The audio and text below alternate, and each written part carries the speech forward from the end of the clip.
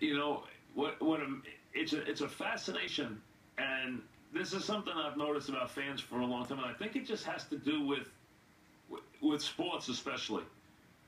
Nobody cares if uh, Leonardo DiCaprio gets fifty million dollars for his next movie. They could care less. It would go in one ear and out the other. They could care less. No one would care if they hear Bruce Springsteen made $350 million touring next year. They could care less. That's $350 million in a year.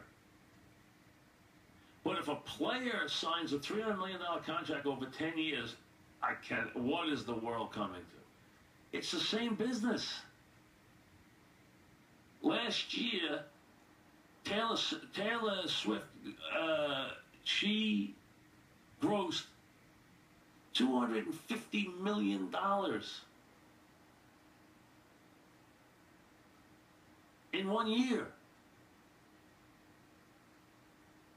Now, a player's making a tenth of that. A tenth. So, I mean, it's entertainment. It's the same business.